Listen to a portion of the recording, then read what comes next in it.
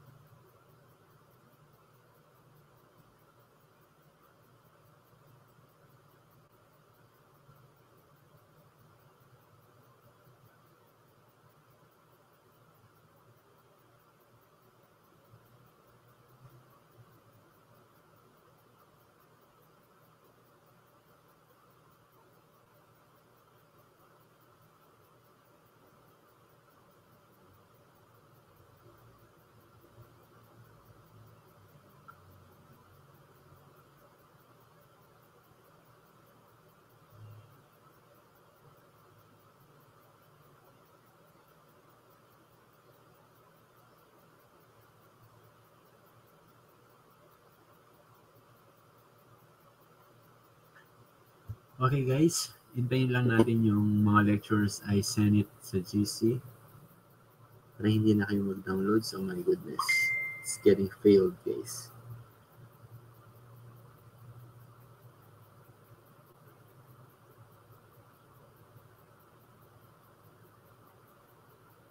Hmm. Getting failed. And let's try again.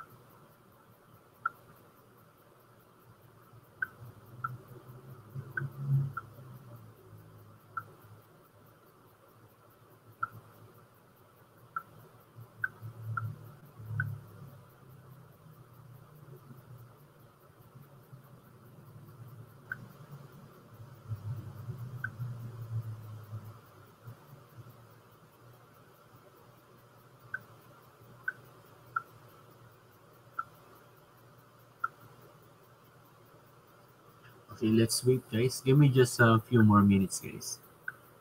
Para lang mag-send yung mga to.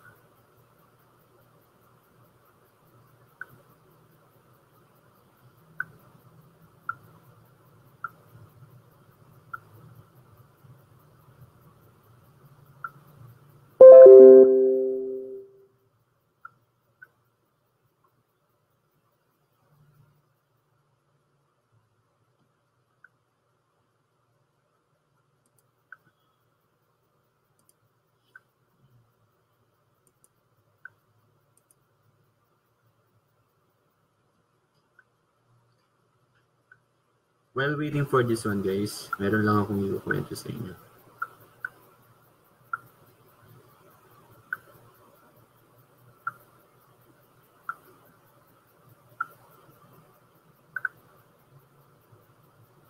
Doon sa canteen namin sa URC guys. Today is ano, ngayong week na to, panggabi ang schedule ko. 7 7 p.m. to 7 p.m. So after after ng klase kong ngayon, aalis ako dito sa mga 6.30. Mga 6.30 siguro ang alis ko dito sa bahay. And then, mag-duty ako ng 7 hanggang ano, 7 hanggang 7 ng umaga. So normally, nagsasara kami ng madaling araw, like like 3 3 a.m. Then magbubukas pa lang kami ulit ng 6 a.m. So meron kami tatlong oras na pahinga. So normally ang ginagawa namin pag pag ano pag uh, tawag dito, pag break namin uh, pinapatay sinasara namin yung canteen and then pinapatay namin yung I mean sinasara namin yung canteen after namin magtrabaho at maglinis. And then uh, natutulog kami doon mismo sa dining. So may mga karton kami na nilalagay sa, sa, sa lapag or sa sahig. Then natutulog kami. Then pinapatay namin yung mga ilaw. Ang nakabukas lang na ilaw is yung nasa kitchen. So before natutulog ako, meron akong upuan na mahaba doon. Parang uh, basta mahaba siya na upuan. Normally, kinukuha ko yun.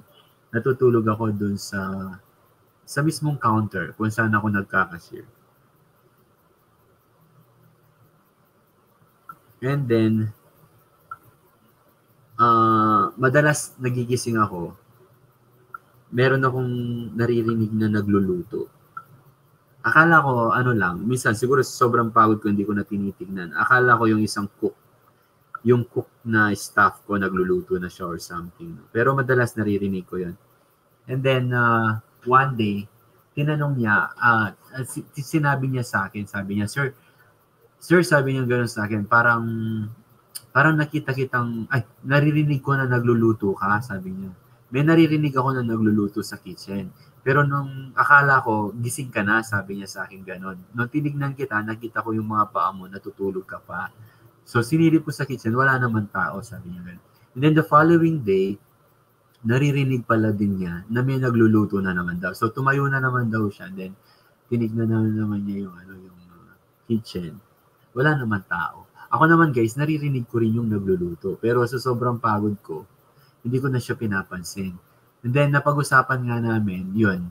Then yung isang staff ko naman pala, yung uh, waitress ko, kinukwento din niya doon sa sa doon sa steward namin, yung tagahugas namin ng plato, na nakita, meron daw siyang nakita doon sa locker area na naka-white.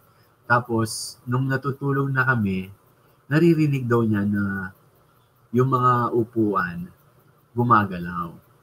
So nung napagkwento-kwentuhan namin, so lahat is confirmed na meron nga kami naririnig. And then uh, after nun guys, na, doon pa rin ako natutulog, doon sa tabi ng kitchen tapos naririnig ko talaga, dinig na dinig ko guys, talaga guys yung ano, yung actually kakahiga ko pa lang, hindi pa ako, this one, hindi pa ako talaga natulog or hindi pa ako hindi pa ako umidlip. Kakahiga ko pa lang as in seconds pa lang. Pagpikit na pagpikit na pa ako guys, alam mo yung naramdaman mo na may dumaan sa iyo. Alam mo yun yung parang hangin na basta yung something na merong naramdaman mo na kahit hindi mo siya nakita may dumaan sa iyo. And then na, dinig na dinig ko yung yung uh, yung hakbang niya yung mga yapak niya, plus yung yung may tumatalon sa tabi ko. As in, dinig na dinig mo. Alam yung natutulog ka sa sahig, sa semento, tapos may, may bata or meron something tao na tumatalon sa tabi mo. Ganun. So, ayokong buksan yung mata ko. Ayokong buksan yung mata ko. Ang ginawa ko is, uh, nagsisigaw ako, tinatawag ko yung mga staff ko. Sabi ko, tinatawag ko si Shaira. Shaira, Shaira, sabi ko, buksan mo yung ilaw, buksan mo yung ilaw. Kasi dinig na dinig ko, guys.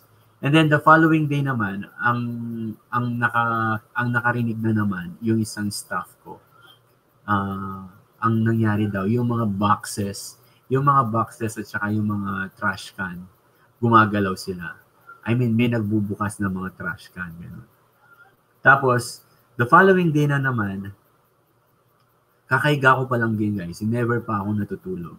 Tapos bigla-bigla na lang na naririnig ko yung mga plastic at saka mga containers sa kitchen, may nagmo-move. May nagmo-move na mga plastic at saka, alam mo yung nagpapalit ka ng mga garbage bag. Alam mo yun?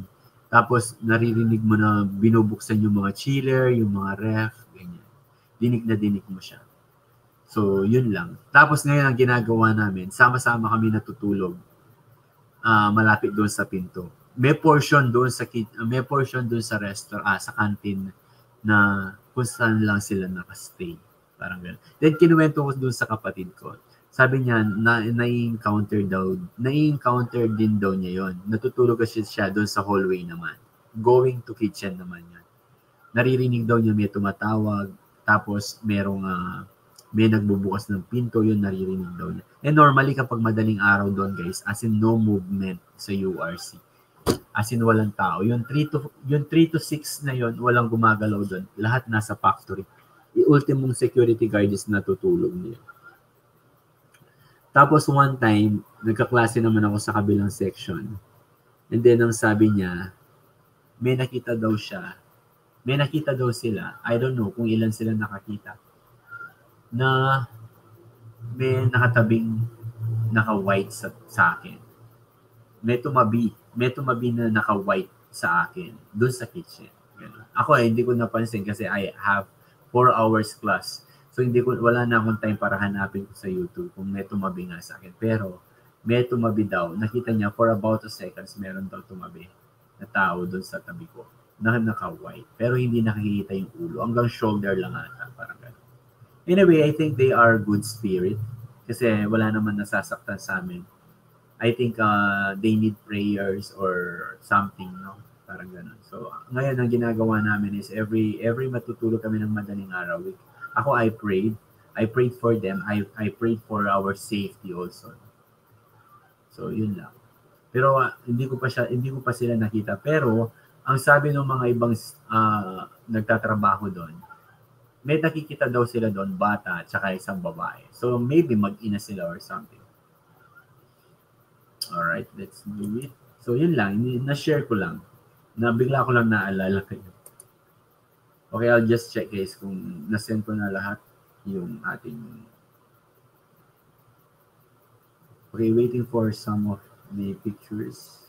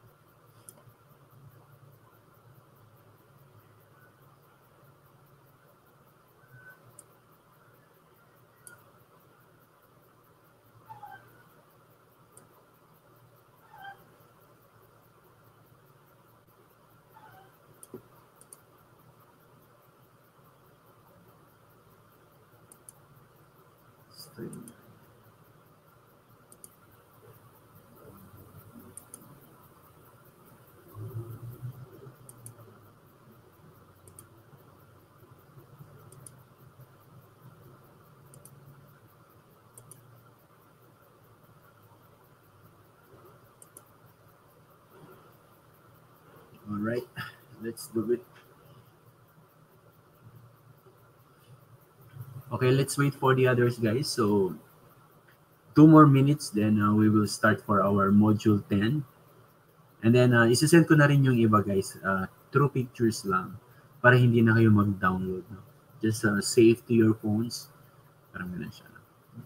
So, ilang weeks na lang, matatapos na rin tayo, guys. And then, uh, hopefully, actually mag-start ata ang second summer may summer class ba no? Summer class or second semester no but unfortunately guys this will be my first uh, this will be my last uh, subject for this year.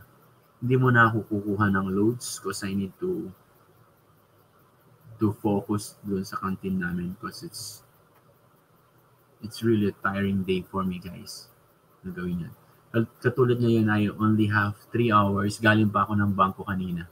So we settled some uh, appointments sa bangko. Then mga tatlong oras lang ang tulog ko. Then after ko ng bangko, dumiretso na ako dito.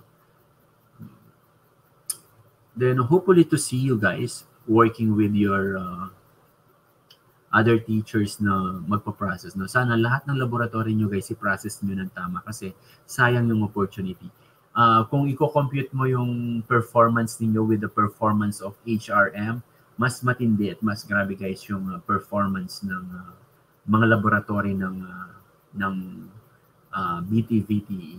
Ang problema lang kasi dito, if we control yung mga professors natin doing thing, uh, I mean uh, doing things para sa atin, malilimita, malilimitahan yung mga pwede nating matutunan. Kasi for laboratory, we need to spend money talaga for us to learn.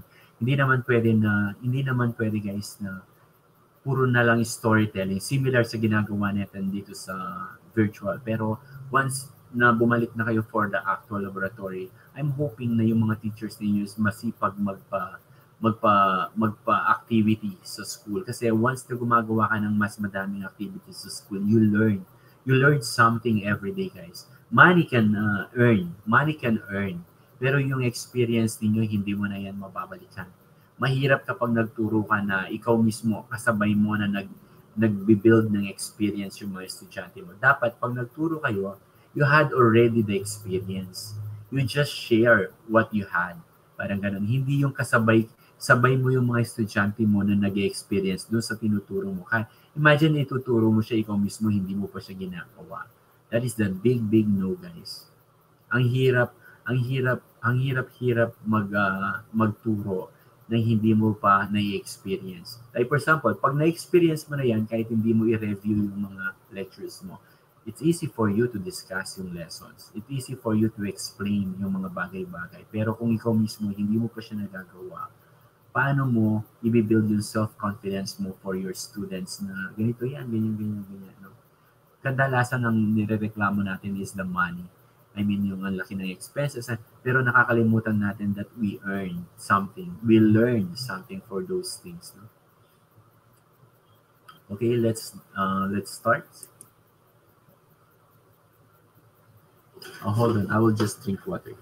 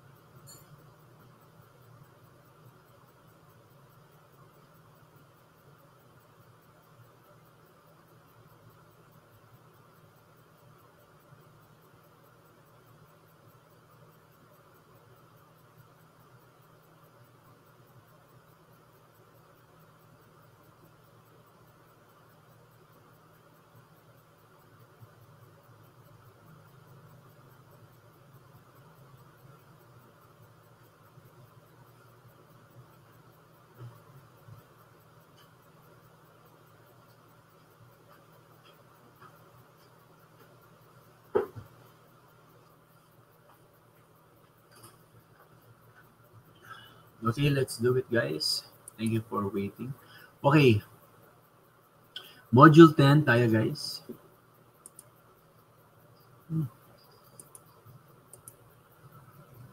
Okay, module 10 or lesson 15 is mousses and cream. So this will be our next activity that is mousses or mousse, mga chocolate mousse. Okay, uh, actually, ang module 10 is a combination of mousses, fondant, gum paste, na activity. So, let's let's see kung ano yung pwede ninyong gawin uh, for this one. Pero let's let's start for our topic, this mousses. So, normally, ang mga mousses, makikita niyo yan, or mga mousse, chocolate mousse, or mga iba-ibang klaseng mousse, makikita niyo yan sa mga buffet restaurants. Makikita niyo nasa mga shot glass, or sa mga wine glass, or margarita glass. Parang ganun siya. So, napakarami nito guys na po pwede mong i-develop. It's always considered with different types of uh, custard sauces na ginagamit namin dito. So may mga custard sauces na nabibili na ng ready-made pero may mga custard sauces na ginagawa from the scratch. So hindi siya ganun katamis pero it always fabulous and glamorous dun sa style ng mga glass. Always anticipate lang kapag naglalagay ka na ng mga mousses sa mga clear glass or shot glass na ganito, once na nilagay mo na siya guys, hindi mo siya pwedeng haluin kasi yung clear uh, texture ng glass mo is magmumuhay siya or magkakaroon siya ng parang uh, malabo, parang ganun. Pero once na nilagay mo na siya, hindi mo na siya pwedeng galawin. Kaya be careful and always use a piping bag sa paggamit nito para hindi siya magsablay-sablay. Alright, let's uh, move on. Okay, this one is the terms mousses and cream are both applied to a puree of meat, fish, or vegetable. Stiff, uh, uh, stiffine uh, with the gelatin and lighten with the whipped cream. So magkaiba guys yung ginagamit na gelatin sa pastry at saka yung gelatin na ginagamit natin sa mga gelatin na dessert natin sa bahay. No? Magkaibang magkaiba yon Pero Uh, ang iba, ang iba naman na ang ginagawa nila is uh, cornstarch ang ginagamit nila to thicken yung textures ng mga cream nila. Pero kapag clear ang mga sauces mo, like for example, clear ang mga sauces mo, you have to use yung gelatin uh, clear para hindi hindi mag-fail yung textures or yung kulay niya. Learning objectives natin is to discuss and describe the mousses and cream used in the pastries, describe and characteristics of the future of the different kinds of mousses and cream, uses in the pastries, describe the fondant and gum paste, demonstrate the procedures in fondant making and gum paste making, and perform basic decorations using the fondant. Pag sinabi mong fondant, guys, is made of, of uh, mallows or it's made of, of gelatin. Parang ganun siya. Ito yung, uh, actually, nothing spectacular sa lasa ng uh, fondant. It's more on matamis lang siya. And then, ang kagandahan lang dito, once na nagde-decorate ka na ng mga cakes, napakagandang i-decorate ng fondant. Kasi guys, uh, planchadong planchado siya, parang semento na uh, pinlat mo. And then the gum paste uh, fondant naman, ano yung pagkakaiba ng gum paste fondant? Mamaya makikita ninyo. Ang gum paste fondant naman guys, ito yung mga flowers na nakikita ninyo. Actually, uh, I will get some uh, sample guys.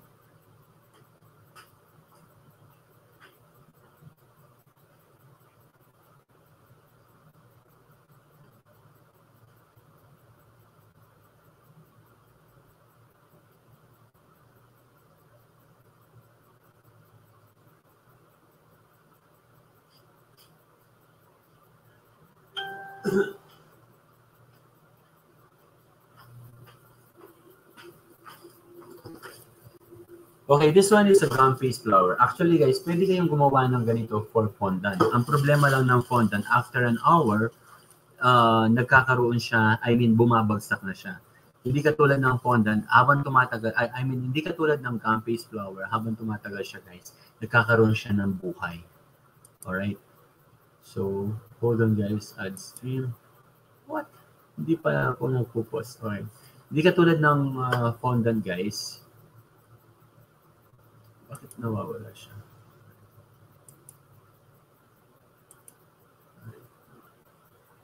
So this one is a sample guys. So focus ko lang muna sa akin. This one is made of gum paste. Actually, kung nasa CCA lang tayo guys, gagawa rin tayo nito. 100% gagawa tayo nito. And then, uh, gumagawa yung mga estudyante ko ng ganito for about two weeks. Then, gumagawa kami ng mga bouquet. So, this one is a sample of gum paste flowers. This one, guys, is edible. So, ayan, may mga petals siya. So, this one is made up of paste. So, may mga molder ka na binibili to create this one. And then, this one is wire. Ayan, so, ito yung mga ibang ginawa ko for my mom's birthday. Ayan, so, so, bawat isang petal niya, guys, is meron siyang wire. Meron siyang wire para nabibent mo siya. Ayan. Then some of here. Then pwede ka rin gumawa ng mga dahon. So this one is leaves. Again guys, this one is made up of gum paste. So edible sila. Matigas na siya. So yung ang yung una malambot siya pero once na nahanginan na siya, uh, tumitigas na siya. So this one is uh, flower. Uh, I mean uh, leaves. So pag pinagdikit mo siya with the flowers, ayan guys, nakaka-create ka ng isang fabulous bouquet. So, dati gumagawa kami ng mga bouquet. So, I'll show you some leaves guys. So, also this one is a small flower naman. Kaya lily. This one. And then I have here also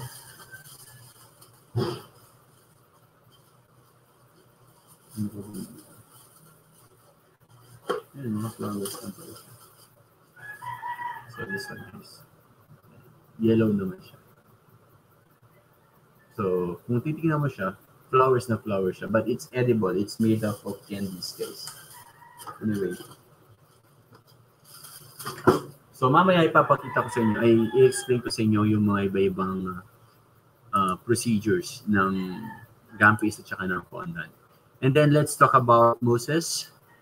let's check what is already know about the mousses and cream. So we have the mousses, mousse or cream, and then souffle, and then cream uh, uh, brulee. So this one is cream brulee, guys. So forward natin. So papaliwanag ko lang. And then we have the panna cotta. And then uh, we have the cream and the souffle cream brulee. Then uh, this one is mousses, tiramisu, souffle cream brulee again.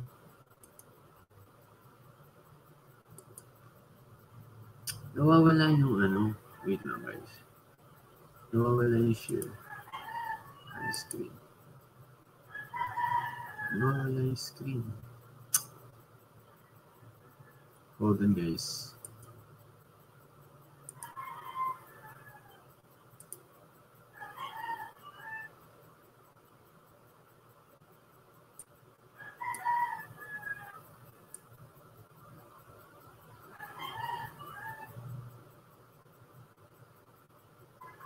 Anyway, you may open your uh, pictures. Nawawala sa screen ko yung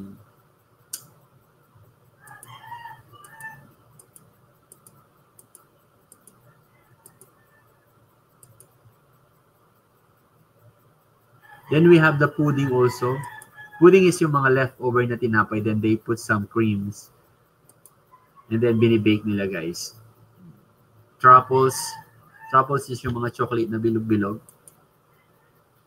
Then ipapaliwanag ko sa inyo. Okay, this one is mousses or uh, French French word which means poem kasi nga nag nag-create siya ng mga mousses. Okay, uh, like for example, ang iba is yung ginagamit nila is mga heavy cream. Heavy cream yung ginagamit nila just to make uh, just to make a uh, uh, cream or uh, fluffy cream. Ang ginagamit nila is yung heavy cream. Pero pwede tayong gumawa ng pwede tayong gumawa ng isang uh, mousse using a Nestle cream. So paano ang ginagawa natin dito? So ang Nestle cream mo is pwede mo siyang i-chilled overnight sa chiller or sa ilalim ng ref mo para malamig na malamig siya. Mas matagal siya na nasa loob ng chiller like for example for a week or for a few days, mas maganda yon guys. Huwag mo lang ilalagay sa freezer yan kasi pag nilagay mo sa freezer, ang nangyayari dyan is nag, uh, magtitigas siya and then pag lumambot siya guys, naghihiwalay na yung cream at saka yung liquid niya at hindi mo na may babalik doon sa dati niya. So bakit nilalagay sa, sa chiller? Kasi kapag nilagay mo sa chiller, mas nagiging thick yung texture niya. Mas madali siyang i-foam kasi mas mal- malapot ang sauce niya. Kumpara doon sa nasa room temperature lang yung Nestle cream. And then another thing, gumamit kayo ng stainless mixing bowl.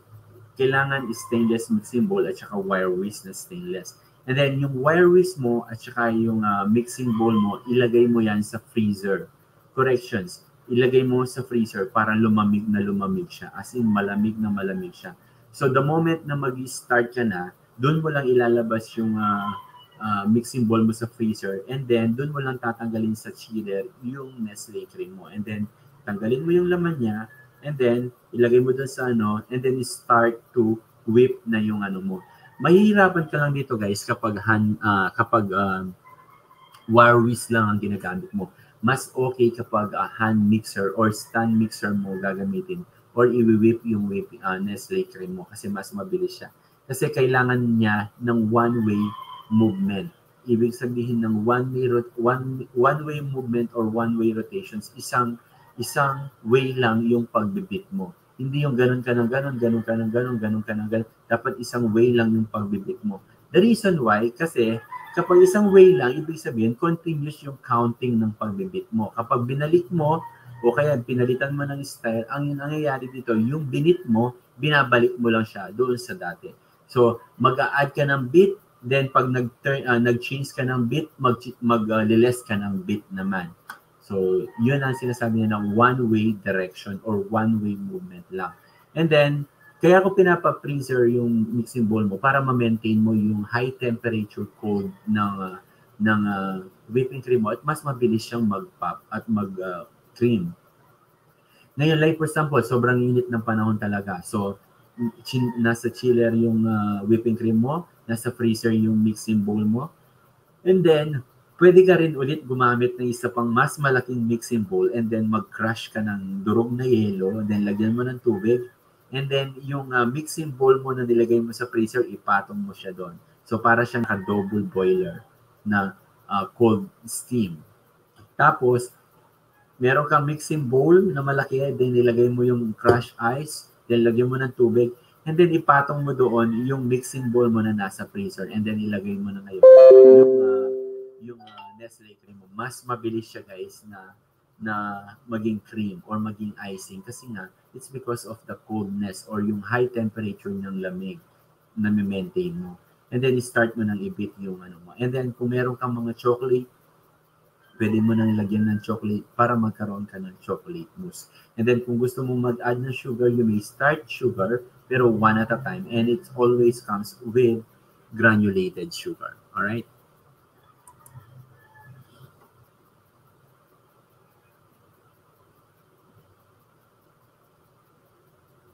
Okay. Ang iba just to add, ang iba guys is just to add a, a volume or height nung uh, whipping cream mo. Ang ginagawa nila is nagwi-whip sila ng egg white. So kapag yung egg white is naging ng merang, and then magwi-whip pa sila ng separate na na cream and then pag-ahaluin nila yon para magkaroon siya ng double uh, double uh, volume ng uh, ng whipping cream niya. Alright?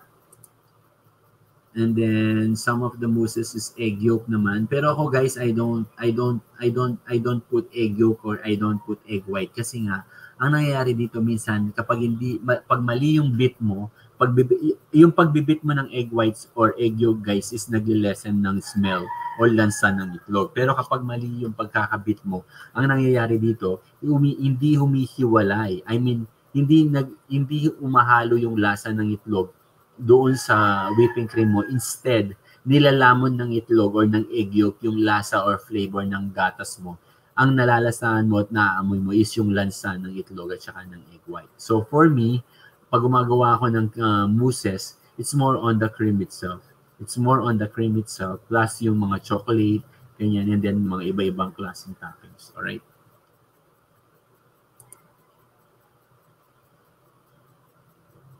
Okay, meron din naman silang tinatawag na savory mousses. Savory mousses is madalas ginagawa itong appetizer and then nilalagay ito sa mga buffet, sa mga buffet restaurant. I don't know kung nakapunta na kayo sa mga eat all you can international buffet. Makikita niyo yung savory mousses. Savory mousses is most of the time uh, meron yung cream and then yung cream nilalagyan nila ng mga dinurog na fish or mga iba-ibang klase mga uh, herbs and spices and then hinahalo nila dun sa cream na yun. And then nilalagay nila din ba na parang mga ice cream. Pero may mga toppings na yan ng mga fish or mga herbs or mga iba-ibang klaseng uh, like uh, black olives or green olives, ganyan. So, savory mousses is para siyang appetizer or appetizer siya na meron siyang madalas na meat or fish, shellfish, or uh, cheese or vegetables na nakapatong or nakahalo mismo doon sa mga cheese, ah, doon mismo sa cream. Alright?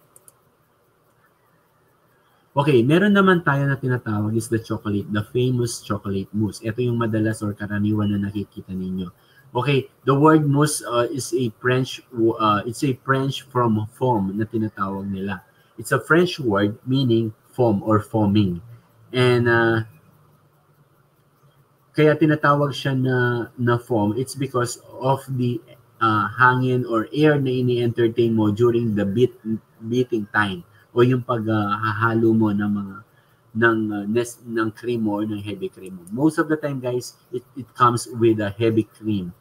Pa, kasi ang heavy cream, mas malapot ang texture niya at saka mas mabilis siyang lumapot kumpara sa Nestle cream. Pero I suggest kapag uh, kulang ang budget mo, pwede kang gumamit ng Nestle cream pero ilagay mo siya sa, sa chiller para mas tumigas or mas lumapot yung uh, consistency niya. Okay? The chocolate flavor is rich of intense which is such of interesting contrast with the potty-like textures. Make sure lang guys, kapag gumagawa ka ng mga mousses, always break the color. Like for example, gumawa ka ng chocolate uh, mousse, merong nag, nag uh, cream ka ng, uh, ng whipping cream, or ng Nestle cream and then nilagay mo siya, nilagyan mo siya ng melted chocolate. So, ang mangyayari nito is magiging brown siya. So, always put some uh, white or uh, powdered, uh, I mean, or cocoa powder, parang ganun. Always break the colors ng mga, ng mga, ng mga mousses mo para hindi siya magmukhang plain. Para hindi siya magmukhang plain, guys. Mm-hmm.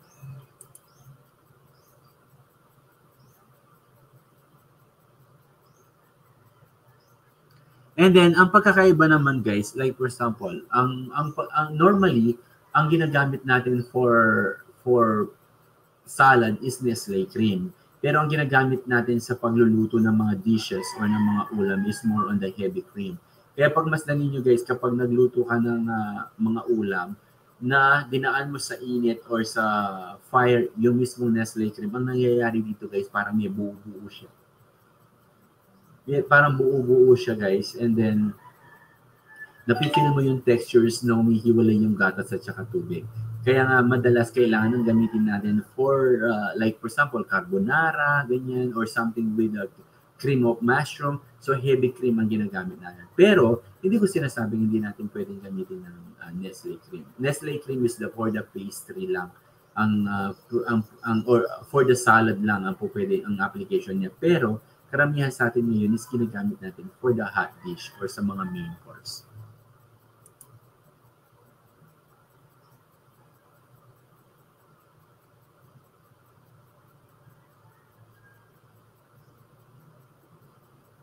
Whipping cream, guys, is possible din siya for your uh, pastries. Possible na possible din siya for the pastries.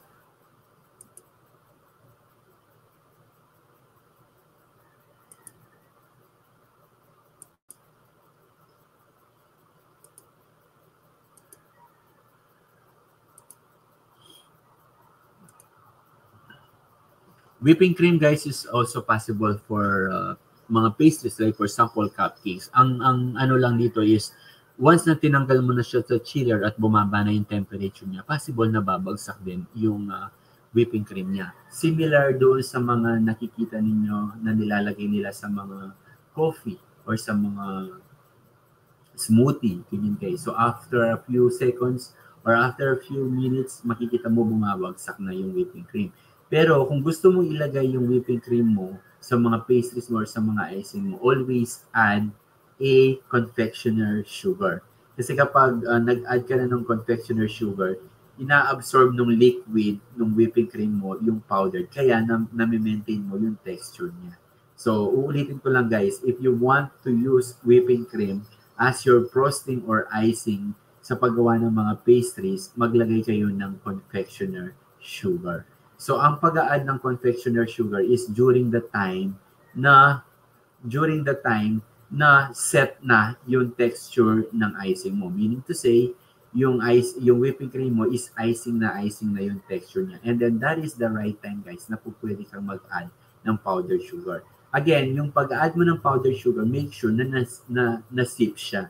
And then one at a time one at a time yung paglalagay mo ng powdered sugar. And then makikita mo guys, magsiset siya na mag-isa. Pero if you want talaga na na stable yung uh, whipping cream mo, pwede kayong gumamit ng whipping cream paste. Pag sinabi mong whipping cream paste, eto guys, yung uh, uh, makikita mo pag binili mo siya para siyang paste, as in malapot, malapot na malapot. Hindi siya kulay white, hindi siya kulay uh, uh, uh, I mean, hindi siya kulay white, pero ang kulay niya is para siyang paste. As in, malagkit na malapit siya. Pero once you started to beat yung uh, whipping cream paste, nagiging, nagto-turn into white color siya. As in, super white color siya.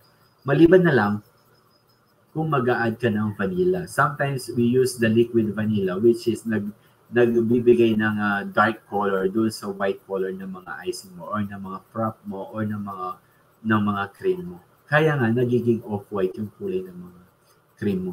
Ngayon, if you want to maintain naman yung icing mo na super white, pwede kang maglagay ng vanilla na powdered. So, meron tayong powdered vanilla na kulay white. So, ang hindi mo na po problemahin kung madadamage yung kulay ng mga frosting mo. Okay, guys? A little bit expensive yung whipping cream paste, pero mas maganda to kahit mainit or wala sa loob ng chiller yung mga icing mo guys. Ang kagandahan nito is po pwede mo siyang ilabas or gamitin. And then kung meron kang sobra, just put it inside the chiller. And then once nagagamitin mo na siya, start to beat again. Pwede pwede siya. Hindi katulad ng whipping cream. Pag may sobra ka, ilagay mo sa chiller and then bumagsak na yung texture niya. Pag ginawa, pag winip mo siya ulit, hindi na siya hindi na siya basta-basta po pwede or hindi na siya pwede. Alright?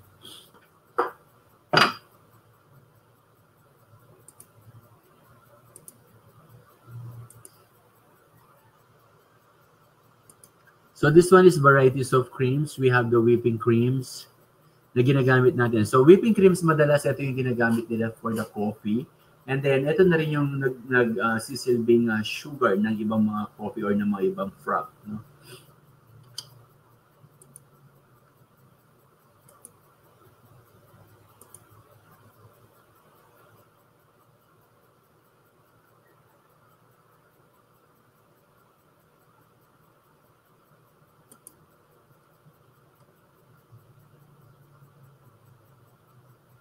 Hold on guys. I'll check some water. Again guys, if you have some questions, pwede ninyong uh, itanong sa akin. Because uh, next week, our activity is more on the mousse. No? Mga iba-ibang klaseng mousses. Sa uh, kabilang section guys, napagawan ko na sila ng mga mousses. No? Hold on.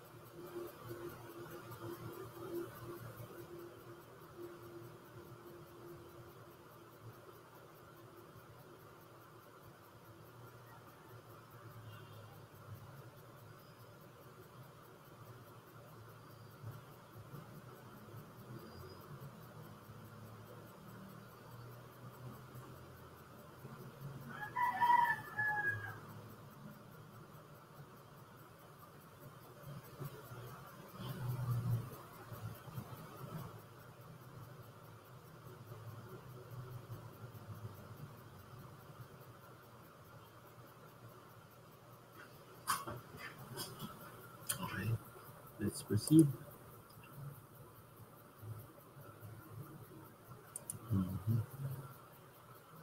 Okay, this one is a heavy cream, guys. Ano yung difference ng heavy cream? From the word heavy cream, mas mabilis siyang i-beat kumpara sa uh, light cream or yung tinatawag natin na Nestle cream. Nestle cream is kino-consider natin na light cream. Kung mapapansin niyo mas malapot, ay mas malabnaw siya kumpara sa textures ng ng uh, ng uh, heavy cream. Alright? So again, kung meron tayong budget, mas okay na gamitin natin yung uh, heavy cream. Pero kasi ang heavy cream is nasa 1,000 grams siya or isang pakete or 1 kilo. Compare sa Nestle cream na pwede kang bumili ng mas maliit na pack. Alright, so let's proceed. Okay, uh, varieties of creams na tinatawag nila. Okay, number one is yung chantilly cream. Chantilly cream is a uh, cream uh, with vanilla flavor. So meron kang meron kang whipping cream or heavy cream and then i-whip mo siya and then put some vanilla. Ang tawag nila doon is chantilly cream. So that is very basic guys. Mga basic uh, basic varieties of creams yung mga i-discuss natin today. The first one is yung chantilly cream. Chantilly cream is a uh, chantilly cream is a vanilla flavored whipped cream in, a, in Italy, it is made by a folding whipped cream na tinatawag nila or a pasty cream. Okay. Chantilly cream is a whip, meron kang heavy cream or Nestle cream guys and then i-whip mo siya hanggang mag-set na yung texture niya and then put some vanilla uh, and then uh, ihalo mo lang siya or after mong after mong binit yung whipping cream mo guys para siyang icing na ngayon and then put some vanilla and use a folding techniques. So gumamit ka lang yung spatula and then from uh, other side is script mo lang siya, folding and then from the other side and then folding. Huwag yung halo na ganito guys. Kasi kapag hinahalo mo na ganito, ang mangyayari dito is magtutubig yung uh, whipping cream mo. Once na very sensitive yung mga cream mo, ang procedure na po pwede mong gamitin is yung uh, wire whisk o yung pag uh, bibit mo using a hand mixer or stand mixer at saka yung folding technique na tinatawag nila. Pag folding technique, i-scrape mo lang siya from the other side going down, pinakasagad, and then going to other side, and then fold sa center. And then other side na naman, then sa pinakadulo, and then going to other side, and then lagi natin pino-fold sa center. So that is yung tinatawag nilang fold, uh, folding technique. And then kung meron tayong custard, just to fix yung texture ng ating uh, ng ating uh, chantilly cream, pwede kang maglagay ng custard. Alright? So merong nabibili na powdered na custard, ang gagawin mo na lang is maglalagay ka na lang tubig. Pero meron tayong custard na ginaga, uh, ginagawa from the scratch. Ang ang paggawa ng custard is more on the egg yolk, cream, butter, and then sugar, and then vanilla. So egg yolk lang guys ang ginagamit dito. So ibibit mo ng ibibit then uh, double boiler ang ang pagluluto niya. Hindi mo siya pwedeng i-direct heat kasi masusunog siya. So it always comes out with double boiler procedure. So meron kang hot water, then pot, and then ilagay ipatong mo yung mixing bowl mo, then doon mo ilagay yung egg yolk, and then yung gatas mo, then butter, then vanilla, then sugar, then start to whip very uh, continuously hanggang maghalo-halo lang yung mixture niya. And then pag malapot na malapot na siya, then that is the right time na po pwede mo na siyang tanggalin. Pero, i-continuous mo pa rin yung pag-wire mo hanggang, hanggang lumamig siya. Kasi pag hindi mo kinontinuous yung pag-wire mo, ang mangyayari dito guys, is nagiging buo-buo yung uh, custard mo. And then, pwede mo siyang ilagay doon sa whipping cream mo or pwede kang kumuha ng certain amount doon sa whipping cream, uh, doon sa pasty cream mo, then ilagay doon sa doon sa mismong uh, heavy cream mixture mo para mag-set yung texture niya at hindi na siya bumagsak.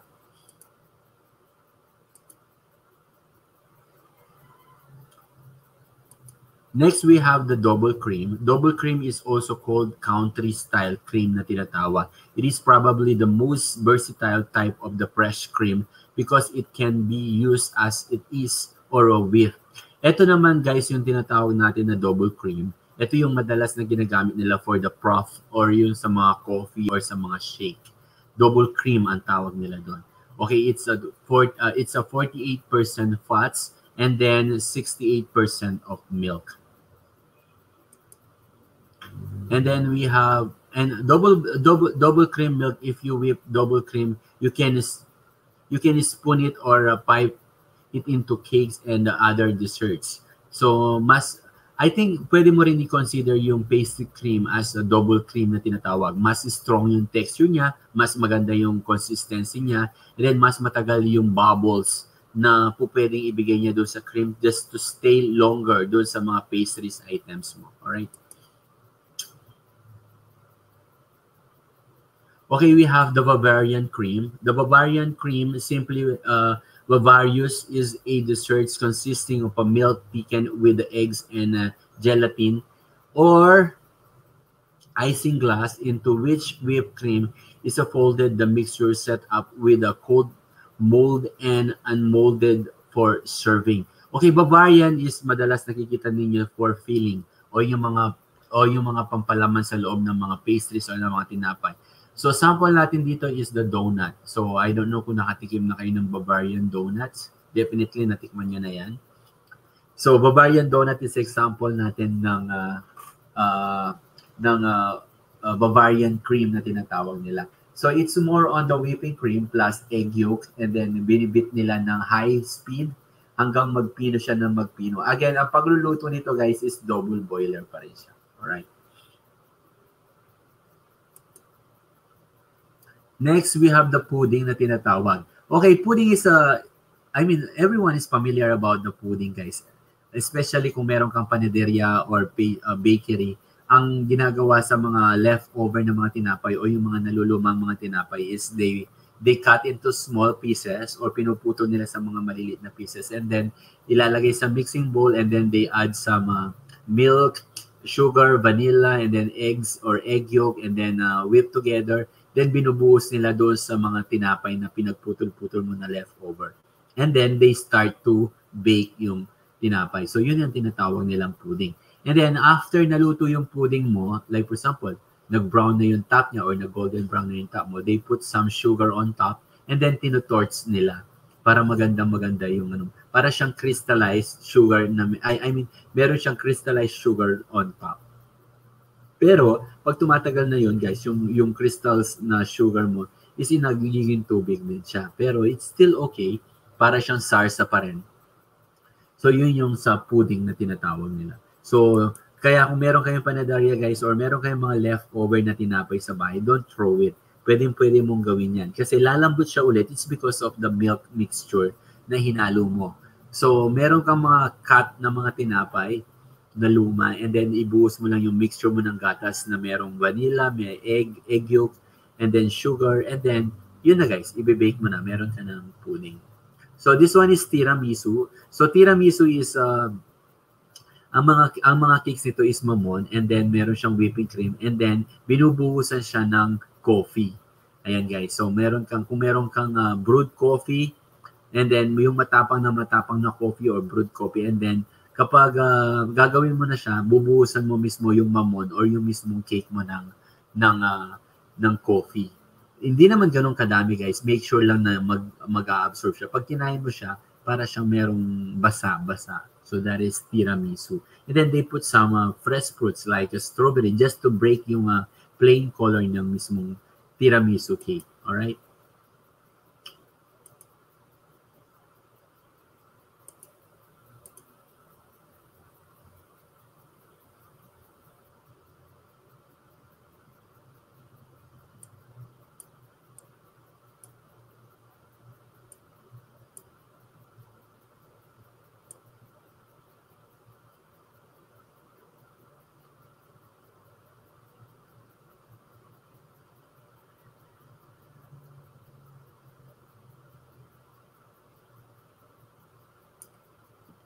Let's wait for the others, guys.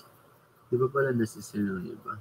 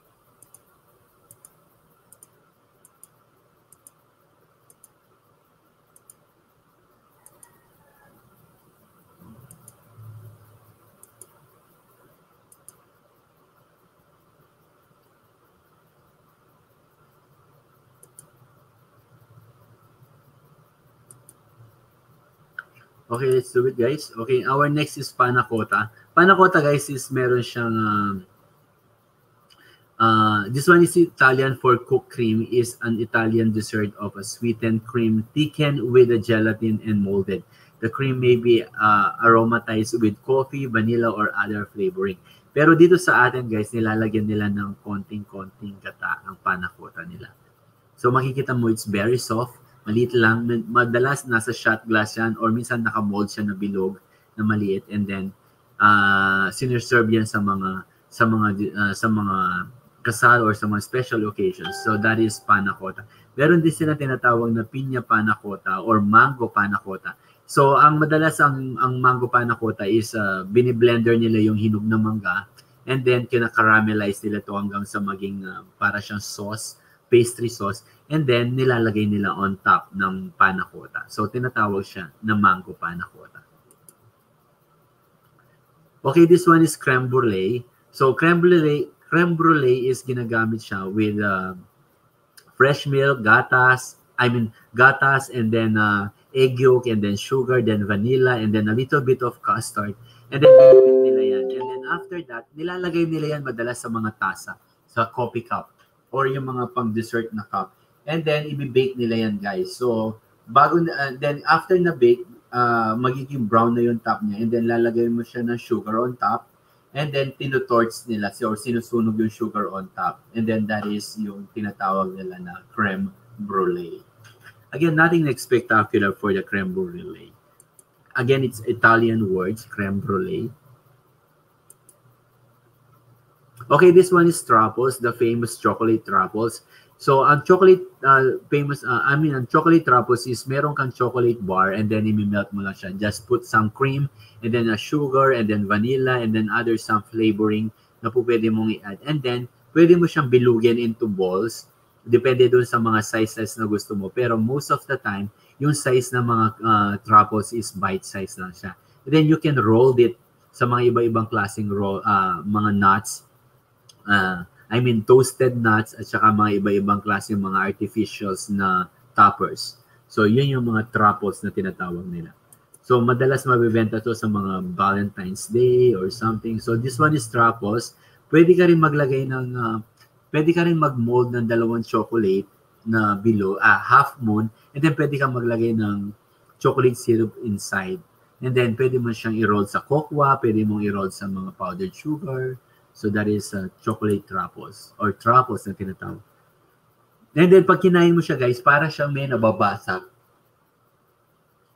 Pag kinain mo parang nababasag, may nababasag na chocolate and then may lalabas na syrup. So that is the chocolate truffles. Ang iba naman, niro-roll nila.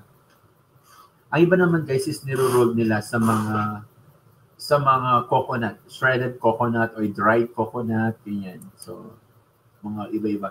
So, this one is gelatin, guys. Gelatin. So, same with, uh, same sa mga ibang-ibang ginagamit ninyo sa bahay, gelatin has different colors and flavor. Meron tayong nabibili ng mga iba-ibang klaseng kulay with the plain taste. Meron din tayong nabibili na iba-ibang kulay with flavor na siya. Like for example, mango. Mango gelatin. Lasa na siyang mango, pero ang gagawin mo is mag-add ka pa rin ng sugar. And then yung kulay niya is kulay dilaw. And then kung ang, um, uh, I mean, kung ang flavor niya is cherry, a little bit reddish yung kulay niya, pero ang lasa niya is cherry. So that is gelatin or jellies na tinatawag nila. Souffle. Okay, this one is souffle is a French word again, baked egg based this. Okay, ito ay ayoko siya guys. Hindi ko siya masyadong gusto kasi lasang malansa siya kasi it's made up of egg white and then pinofoam mo yung egg white and then mabilisan mo siyang ilalagay sa oven. And then, madalas ito gina, ginagamit siya for the main course and then ipapatong lang or side dish lang siya sa main course and then kinakain mo siya. Pero ang ayoko, kailangan mag-pop siya. I mean, magdo-double yung size niya. Lalabas siya katulad niyan. Uh, hindi yung, kasi ang laman niyan is normally nasa baba. Less than uh, one cup lang yan. And then kapag na-bake na siya, nagdo-double yung size niya. Nagdo-double yung size niya, guys. And then, yan, tinotorch din siya. Pero I don't like the smell kasi it smell egg white. Kasi it's made of egg white rice.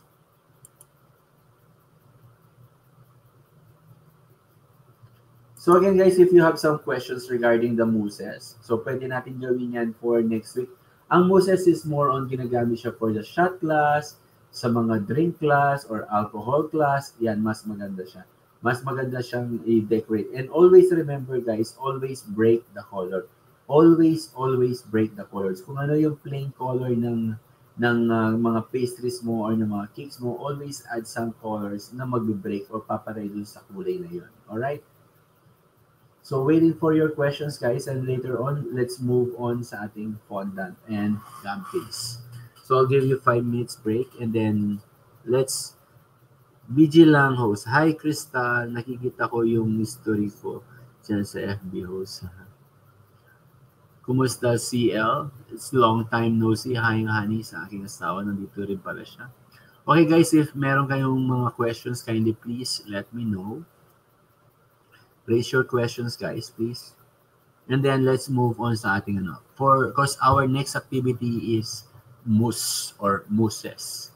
So, meron yung mga estudyante ko from 203, I mean, from 202 na gumawa ng mga chocolate mousses. Again, guys, this one is, uh, I a long time no see. How's your uh, YouTube account? Ako, CL, wala na akong pakiram sa YouTube ko. I started to stop it. Ginagamit ko na lang siya sa sa Classico. Pero after, I think after ng Classico, I don't have any more time sa YouTube. Mm, what happened to UCL? Nasa Pilipinas ka o nasa Hong Kong ka?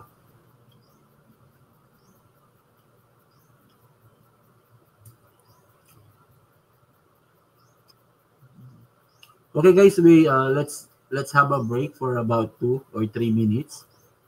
And then kung meron kayong tanong about the chocolate, uh, I mean about the cream and mousses, kindly please raise your questions para magpag-usapan natin siya. Because next week, for our actual laboratory, we're going to make mousses. It doesn't need more, guys. No? It doesn't need more. It's just, you just need one sample. Kung meron kayong shot glass, ganyan, pwede siya. And then if you have some friends sa mga kaklase mo na malapit sa'yo, just ask some, uh, uh, I mean, paalam sa mga magulang ninyo na pwede kayong mag-share ng mga ingredients. Or if you have some ingredients inside the house, no need to buy. No? Mm. Oh, what happened to UCL? Bakit ganun lahat kayo na-injured? I saw Carlo also. Daddy K din also injured, no? I don't know sa basketball pa or something.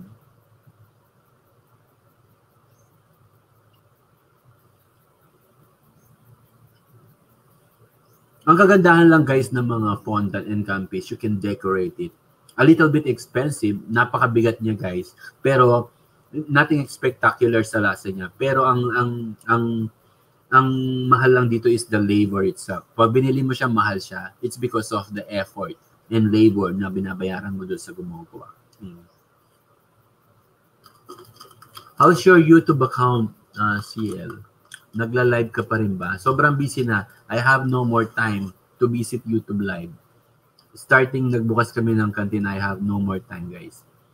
So, ang ginagawa ko na lang after kung mag-duty sa canteen, matutulog na ako. Mag-duty, matutulog. Ganun na lang siya.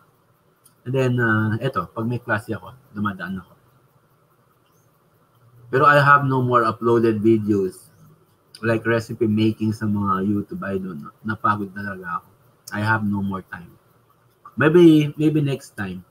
Pag medyo nakaluwag-luwagan, nakapag-adjust kami sa canteen, we will do some live pag nagluluto kami, at least yung iba, pwede silang matuto for live cooking show. Okay guys, uh, after 2 minutes, mag-start na tayo for the fondant. If you have any more questions about the mousses, let me know.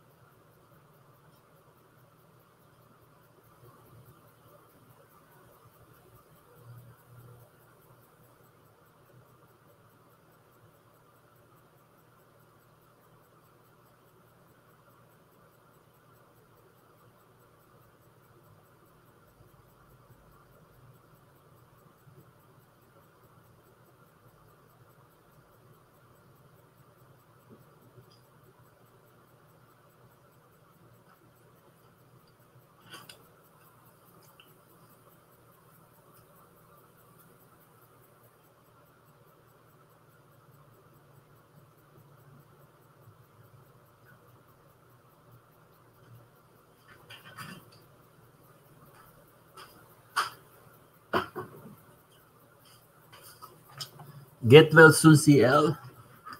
Ako hindi ko pa na-check. Honestly speaking, hindi ko pa siya na-check si Hindi ko nga alam kung naka naka ano to eh, naka commercials.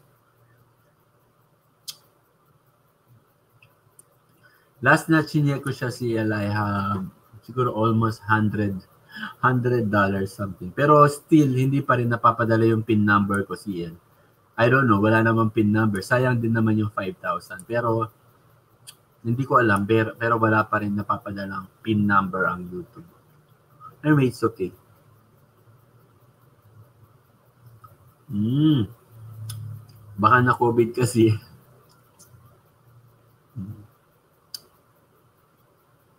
nakakapagod mag-live, no? Nakakapagod mag-YouTube, no? CL, I mean, uh, can't you imagine, gabi-gabi kang magpupuyat and then you only have few audience. Uh, unlike yung others talaga, sobrang, kapag sobrang sikat ka, pwede, pwede. Pero for those YouTubers na katulad natin na napaka-konti ng audience, napakahirap kitain ng 50 pesos. Isang gabi na magpupuyat ka for 50 pesos. Parang ganun. Yes, I think ang ang YouTube is uh, dumami lang siya during the pandemic time because people alam mo yung people, yung mga tao is wala silang mga ginagawang trabaho, busy, nasa lahat nasa bahay. Kaya da, during that time, sobrang dami ng mga YouTubers. And then bigla ngayon, biglang bagsak ng mga ng mga friends mo sa YouTube. Eh, no? Ilan na lang ang natitira. Hmm.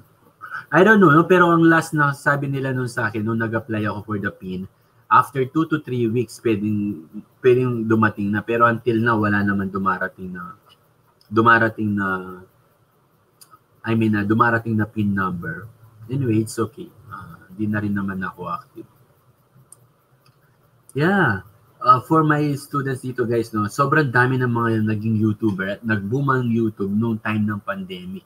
Pero nung nakita nila, akala kasi nila lahat is even me, no? Akala, akala ko ganun lang siya kadaling i-process. Pero, nung time na nakikita mo na ang hirap-hirap na na mag-earn, I mean, for 1,000 subscribers and then for 4,000 watch hour na kailangan mong punuin. Then after that, guys, yung 50 pesos, ang, ang haba-haba pa ng oras na kakailanganin mo to earn 50 pesos, guys. Ganun lang siya, ganun siya kahirap. Yes, tapos nila siya nagpapaalala ang YouTube no for our taxes. Paano ka naman magbabayad ng tax considering hindi pa nga lumalabas ang sweldo? And then how much only yung sahod mo? Mm, ano siya, 24% bawas ng kinikita mo. Ang laki no, si ang laki ng ano niya. Ang laki ng uh, bawas ng YouTube. Kawawa yung mga kumikita ng mga milyon. 'Di ba? Yung mga milyon-milyon na kumikita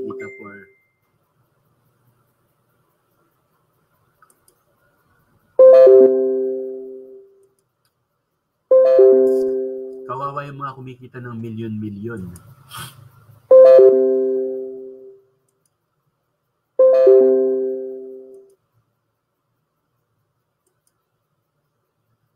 Can you imagine yung ano yung million na kinikita nila? Mm, ano siya, uh, ang 26% mababawasan, di ba? Ay, 24% mababawasan. Ang laki ng 24%, ha?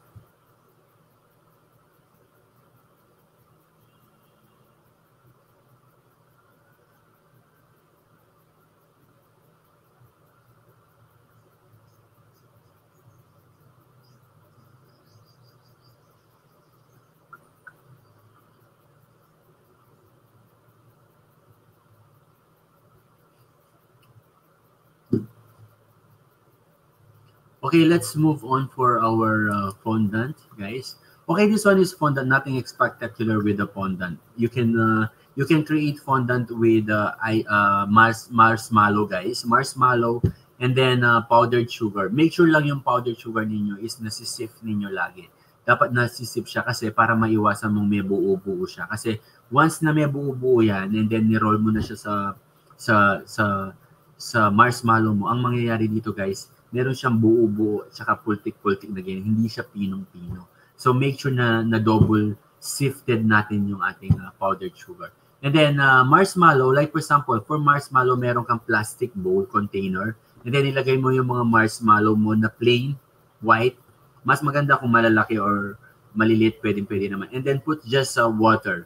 Like for example, ako yung ginagamit ko for yung isang malaking bag na uh, yung isang malaking bag na icing, I mean, malaking bag na na marshmallow, uh, nilalagay ko sa isang mixing bowl na plastic and then naglalagay ako ng tatlo hanggang apat na kutsarang tubig. And then, bago ko ilagay yung marshmallow ko doon guys, pinapahiran ko muna yung mixing bowl ko na plastic ng shortening. Pinapahiran ko muna yun. And then ilalagay ko na ngayon yung aking uh, uh, uh, anong tawag dito, marshmallow, and then maglalagay, ka, maglalagay ako ng tatlo hanggang apat na kutsarang tubig. Tapos, I started to put inside the microwave. Then, makikita mo pag nilagay mo sa microwave, in less than a minute, guys, makikita mo for about a seconds lang unti-unti bumabagsak yung marshmallow mo. From buo-buo na ganito ka size, nagiging siyang uh, nagme-melt siya, natutunaw siya, then lumiliit, bumabagsak yung dami ng marshmallow mo. And then, kapag natunaw na siya, uh, i-check mo lang guys, huwag masyadong matagal. Basta natunaw na siya, pwede mo na siyang alisin sa microwave. And then, start na kayong maglagay ng konting powdered sugar. Or pwede kayong maglagay ng powdered sugar sa working table ninyo. And then, start ninyong scrape yung uh, uh, yung mga marshmallow ninyo. And then, ilagay mo sa uh, sa ipatong mo siya doon sa powdered sugar mo. And then, pwede kang maglagay na ngayon ng konti-konting shortening. Kasi ang shortening, bakit ka naglalagay ng konting shortening? Para magkaroon siya ng konting oil at hindi dry yung mismong fondant mo.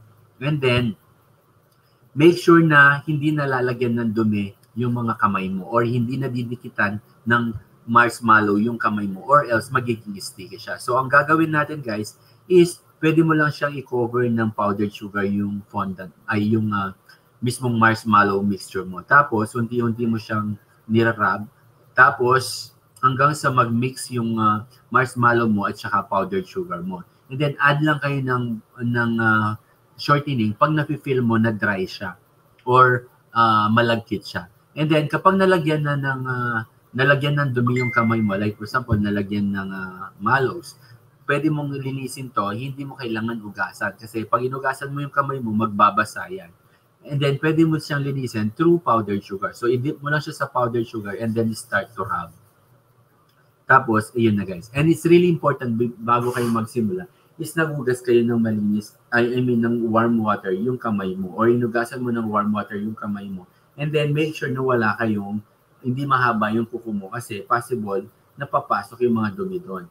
And then, make sure na yung working table mo is malinis. Kasi kapag madumi yung working table mo guys, yung super white na kulay mo na fondant, ang mangyayari dito is magiging off-white siya kasi i-absorb lahat ng fondant mo yung maduming texture na nakita doon sa working area mo.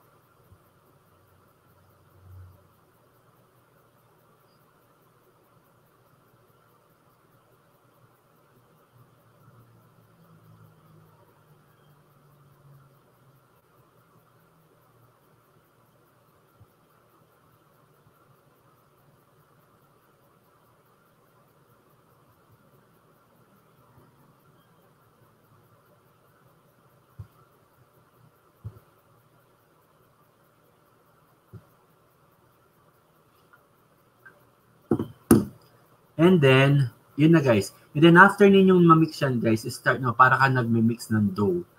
Para siyang minimix mo yung dough, start to rub it. Rub mo lang siya ng rub na ganyan. And then hanggang sa maging siyang parang isang dough.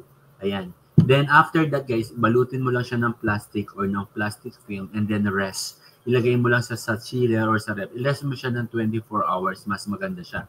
And then, pag gagamitin mo na siya, i-cool down mo lang. Ilabas mo sa chiller and then let it cool. Hindi mo na kailangan alisin doon sa plastic. Just i-rest mo lang siya. And then, yung gagamitin mo, yun lang ang ang ilalabas mo. And then, like for example, may sobra ka ulit, pwede mo ulit lagay yan sa loob ng chiller. Ngayon, kapag masyado siyang pag masyado siyang matigas na matigas, pwede mo siyang ipasok sa microwave for about seconds. Then makikita mo lalambot ulit yung uh, fondant mo. Pero wag masyadong matagal kasi pag masyadong mong microwave yan, ang, ang tendency naman nito, matutunaw yung marshmallow at lalambot siya. Sobrang malambot. Kailangan tansyahin mo lang yung pag-microwave mo. Alright?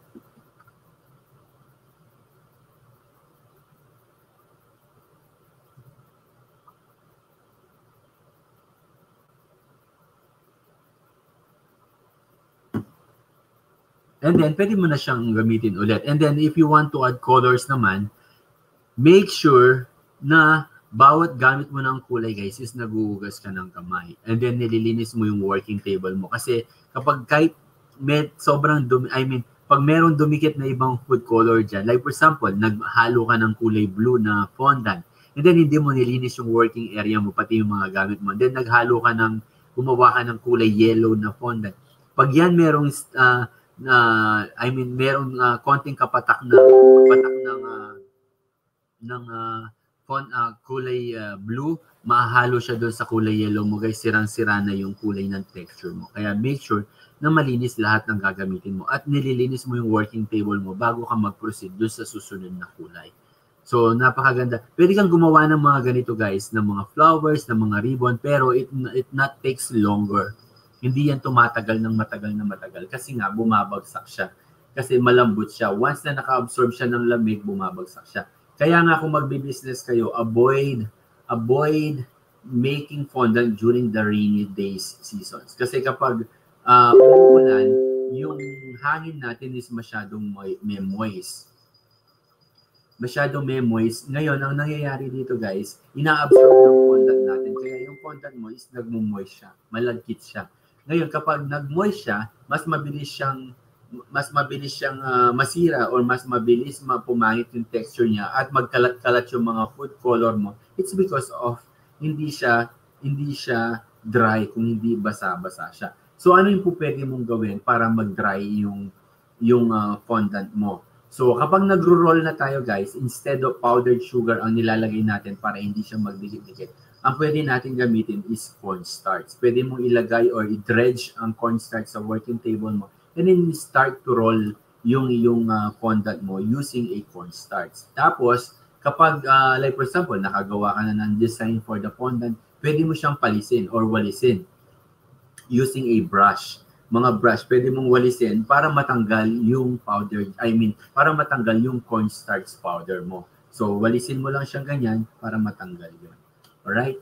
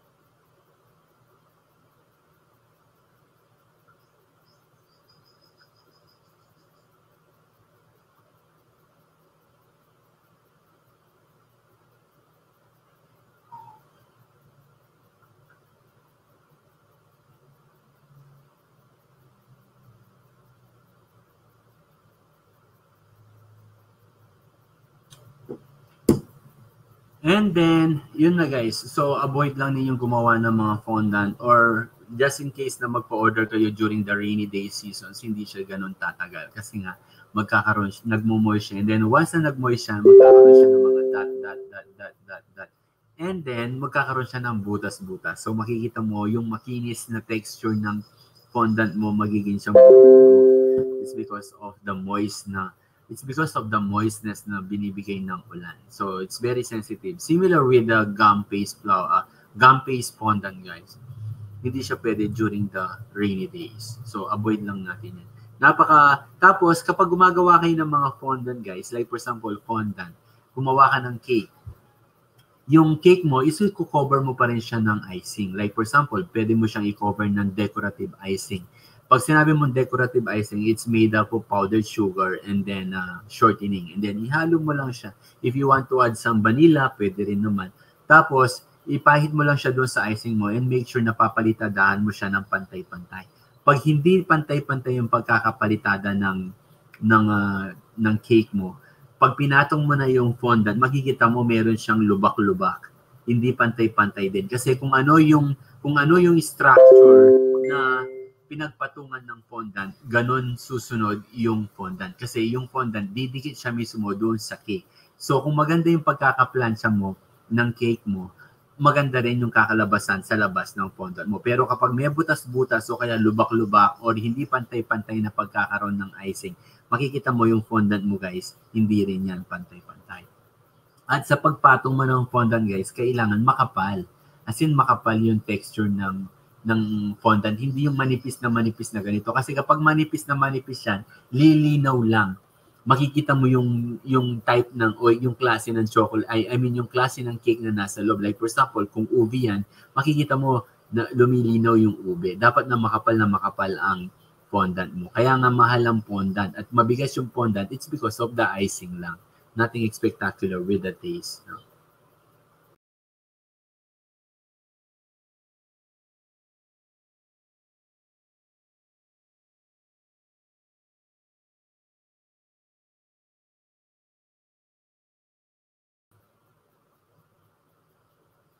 Okay. Like for example, sir, pwede ko po bang ilagay sa freezer yung ano ko for how many months? Pwede yan magtagal ang fondant mo sa loob ng chiller. Uh, for about few months, pwede pwede yan. Basta nakabalot siya ng plastic. And then once na gagamitin mo siya, just put inside the chi uh, just put inside the microwave for about a seconds or a minute. Depende doon sa dami ng fondant na ima-microwave mo. Make sure na huwag masyadong matigas. Every now and then, i-check mo siya na hindi siya bumabagsak or lumalambot ng sobra-sobra. Alright? Or parang ang mangyayari dito is dinidefrost mo lang siya. Now, like for example, wala kang, hold on guys.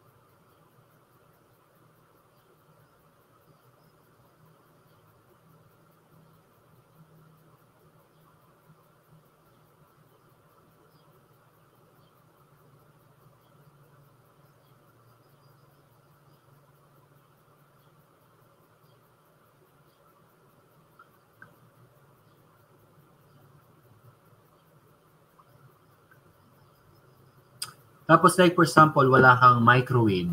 So paano mo gagamitin? I mean, wala kang microwave, paano mo gagamit gagawa gagawa uh, I mean gagawa ng fondant using a marshmallow. Kung wala kang fond uh, wala kang fondant, wala kang microwave guys, all you need to do is magpakulo kayo ng tubig sa pot and then gumamit ka lang ng stainless bowl. Kung kanina is plastic bowl ang ginamit natin kasi bawal ang ang stainless so or metal sa loob ng microwave. Kaya plastic container ang ginamit natin. So this time, kung wala kang microwave, pwede kang gumamit ng pot, then lagyan mo ng tubig and then pakulo ka ng tubig. And then gagamit tayo ngayon ng stainless mixing bowl. So yung stainless mixing bowl mo, ipahiran mo din siya ng uh, ng uh, shortening sa gilid. Uh, ang makapal is much better. And then doon pa lang ilalagay ngayon yung marshmallow mo. And then uh, habang kumukulo yung tubig mo guys, make sure na hindi nakasayad yung mixing bowl mo dun sa hot water. And then start na i-mix, uh, imihihalo mo yan using your wooden spatula or rubberized spatula. Hanggang makikita mo unti-unting nagme-melt yung uh, marshmallow. Medyo matagal lang siya kumpara sa microwave. Sa microwave for about 2 minutes or 3 minutes, tunaw na tunaw na yung mic uh, yung mga malos mo depende doon sa dami niya kung konti lang for about 30 seconds or 40 seconds tunaw na tunaw na yan. And then medyo matagal lang siya. Sa hindi naman ganun katagal. Like for example 10 minutes 5 minutes or uh, 15 minutes depende doon sa dami ng mga marshmallow. And then start to mix mo lang. And then kapag nakita mo nang nag, natunaw na natunaw na talaga yung marshmallow mo then doon ka pa lang pwedeng uh, mag-start for the next procedure. So pwede mo siyang gawin without with or without microwave. And then ang iba naman ang ginagamit nila is gelatin. So yung gelatin is binubloom nila. So what what do you mean by bloom? So ang ginagawa ang ginagamit ang ginagawa nila is nilalagyan ng konting tubig and then rest for about a few minutes and then after that mina-microwave nila in a few seconds para maluto lang yung Mars I, I mean para maluto lang yung gelatin. And then after that ihahalo nila doon mismo sa powdered sugar mo. So yun na yung pinaka mixture nila ng ano. Pero ako mas safe kasi kapag uh, gelat uh, marshmallow ang ginagamit mo. No? Kaya nagiging sticky siya. So ano yung tamang procedure para malaman mo na tama yung uh, yung uh, fondant na ginawa mo. Nagra-rubberize siya. It's similar with the fondant guys. Hindi siya napuputol. Pag hinila mo siya, nagra-rubberize siya. Pag hinila mo siya, naputol siya, ibig sabihin, ma, na masyadong madami yung powdered sugar mo kumpara doon sa sa uh, marshmallow mo. Ako guys, yung pinakamalaking marshmallow na ganyan, ang katumbas nun ay isang supot na malaking powdered sugar. So, one is to one siya. So, isang malaking uh, balot ng uh, marshmallow is katumbas siya ng isang supot or 2.5 kilos na powdered sugar. So may mga recipes dyan sa lectures niyo pwede niyo siyang sundan. Mm, same with the procedure na kinuwento ka na guys. Ayan. Mm-hmm.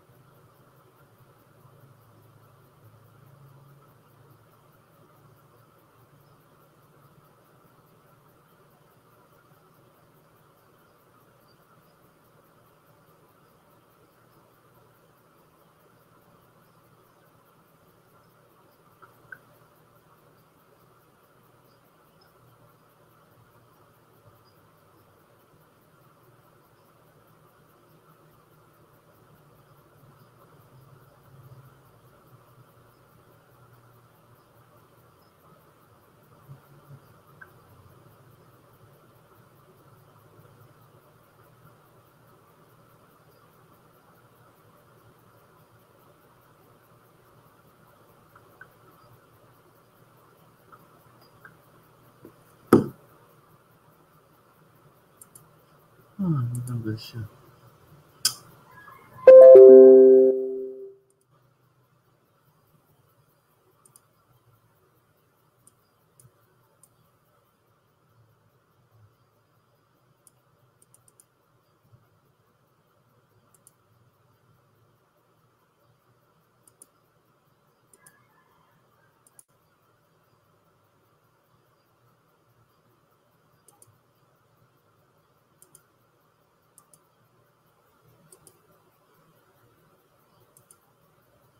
Alright, let's proceed.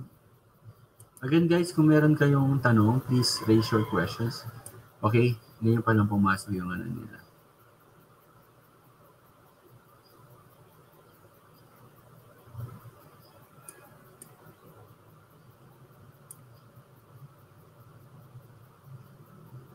I'm sorry, uh, Apollonia channel. This one is a regular class. We just use the StreamYard Okay, thank you so much. Sorry, uh, nagkaklase pa kasi kami. Thank you. Anyway, thank you for coming.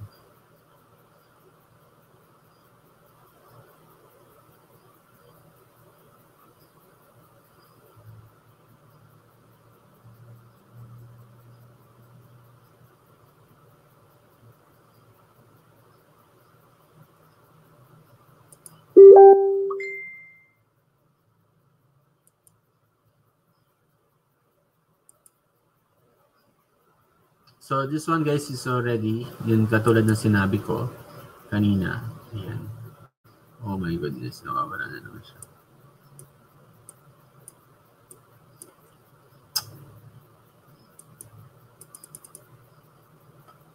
Hold on guys. Nagpa-fluctuate yung signal ko.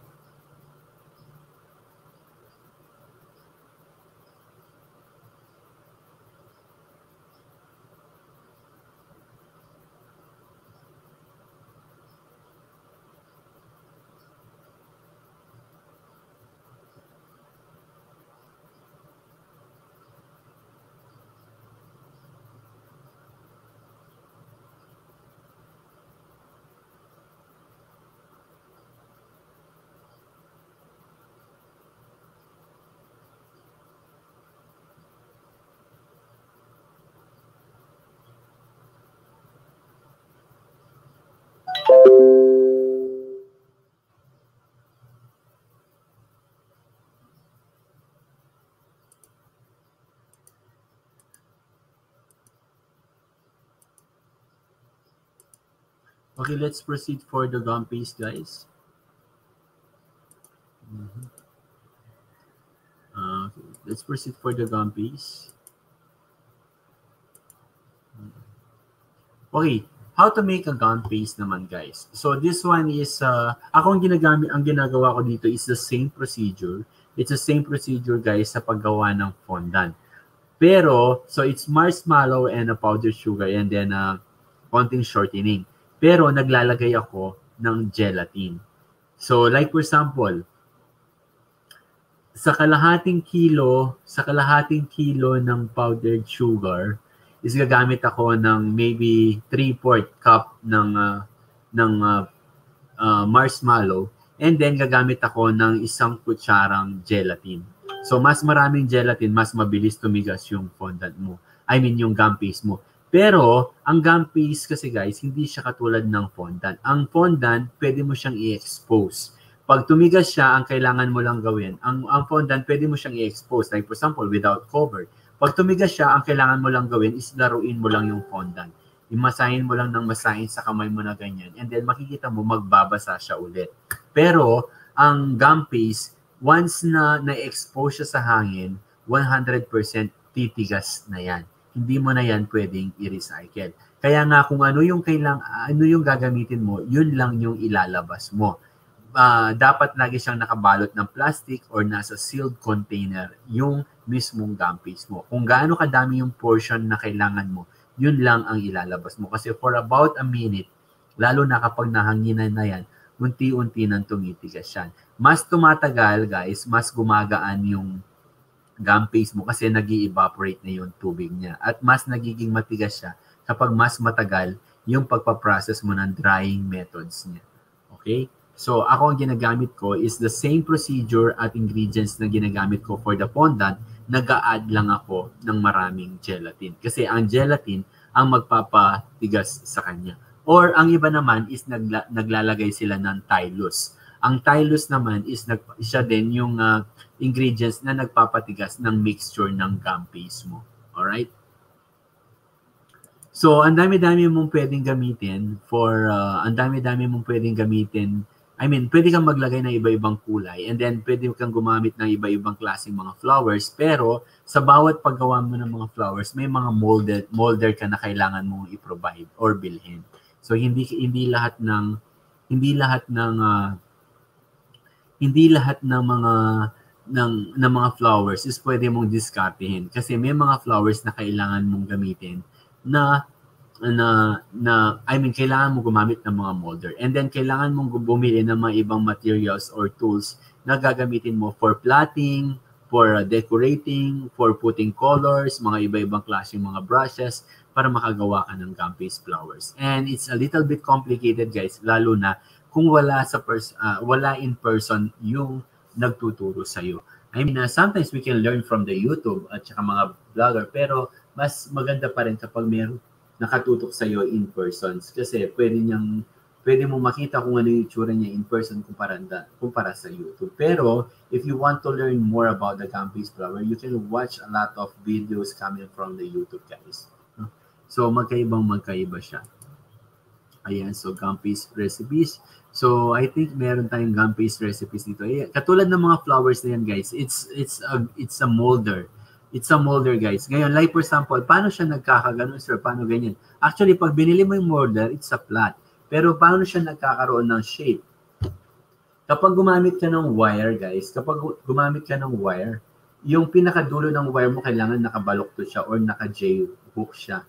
Kasi kapag naka-J hook siya, guys, yun yung kakapitan ng flowers mo. Kapag hindi siya naka-J hook, dudulas lang yung alambre mo at matatanggal lang siya. And then, kung gusto mong mag, yung mga flowers mo is pero para nakatupi siya, once na hinang mo yung, yung alambre mo, makikita mo babagsak yung mga petals mo. Or kung gusto mo na mayroong paalon-alon o kaya naka-wavy, naka-wavy yung mga flowers mo, maglukot ka lang ng dyaryo o kaya ng foil, doon mo lang siya i-formations. Kung ano yung shape na gusto mo, doon mo lang siya ihiga, doon sa nilukot mo na foil or kaya dyaryo. And then makikita mo mag-form siya based doon sa kung paano mo siya nilagay. So, ganun lang ang technique ng mga gum paste flowers. And then, ang iba naman is binabrush nila ng uh, powdered food color. Ang iba naman is nag-add sila ng mga gold and silver. So, madami yung mga techniques yan, guys. Sobrang dami yung mga procedures. No?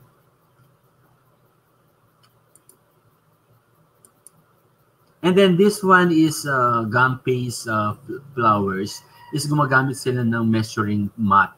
So ito is meron na siyang uh, mga measurement. Kaya makikita mo kung gagawa ka ng mga flowers with the same sizes, pwedeng pwede ito. Plus yung size ng mismong cake mo tsaka ng fondant mo. Alright? That is for some, that is for our, uh, that is for our uh, module 10 guys. If you have some questions, please raise your questions now. Pwede ninyo kung uh, tanungin about yung sa gum paste and then the fondant. Okay, thank you for coming, CL. Okay, if you have some questions, pwede pwede nyo akong tanungin, guys, now. And then for the Monday, uh, for the Friday activity, guys, it, oh, it's it's a chocolate, uh, it's a mousse. Depende sa inyo kung anong mousse ang gusto ninyong gawin. So I'll show you some uh, videos. Pwede ko kayong papanood din sa mga videos. So, hindi kailangan ng madami. Kahit isang baso na shot glass lang, na mousse, pwedeng pwede naman yan. Tapos, i-video lang ninyo and then uh, picturean and then i-send ninyo sa GC natin for documentation. Alright? So, papanood ko lang sa inyo guys yung iba-ibang klaseng mga mousses.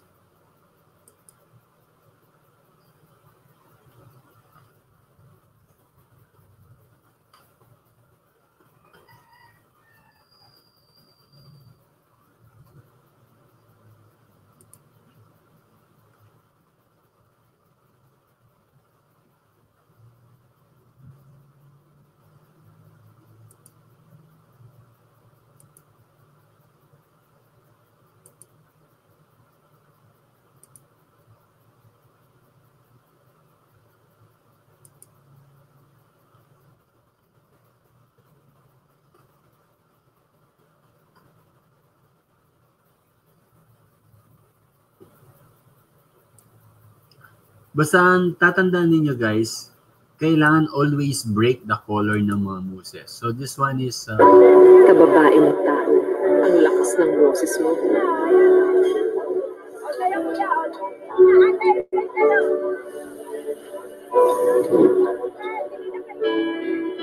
Kababae mong tao, ang brusko mo.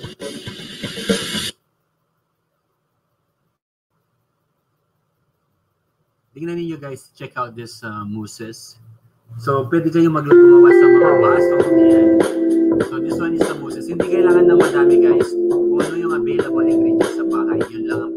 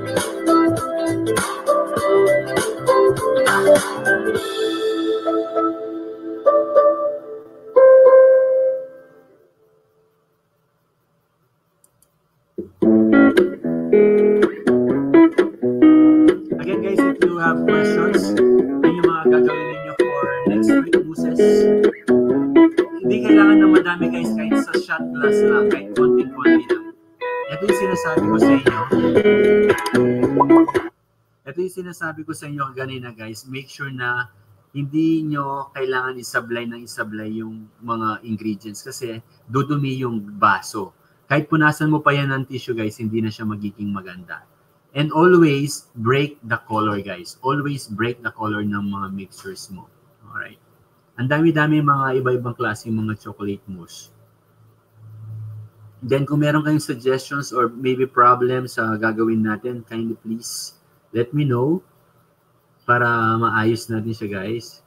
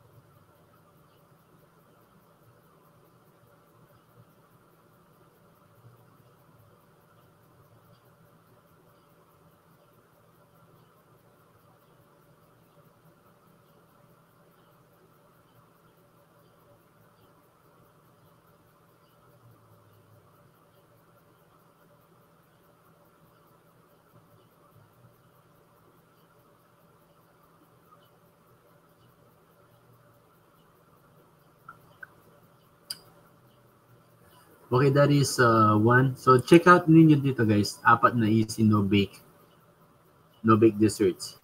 Essential. So let's let's watch this one guys. So ang dami-dami mga iba-ibang klase ng mga moves. Pwede kayo gumamit ng mga fruits. Pwede kayo mag-layer ng mga fruits guys.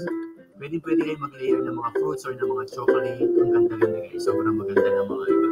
So papakita ko sa inyo yung iba-ibang mga design. And then, pwede kayong gumamit ng mga fruits and then i-caramelize. I, I mean, i-coated ninyo with the clear gelatin. Ang ganda-ganda rin yan.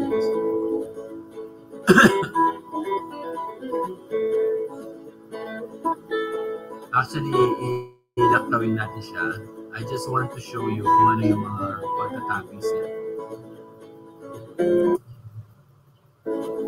Ito guys is mango naman siya.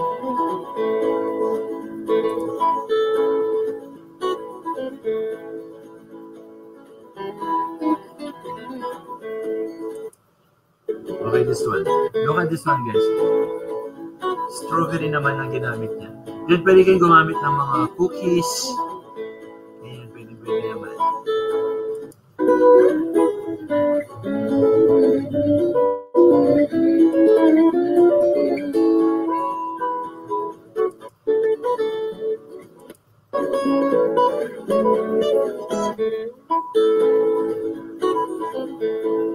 Actually, this one mga plastic container lang guys yung ginamit niya.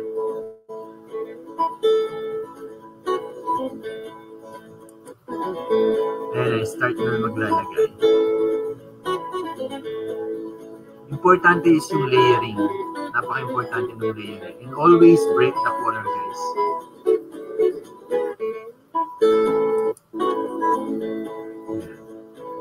So, this one naman, panoorin natin ito.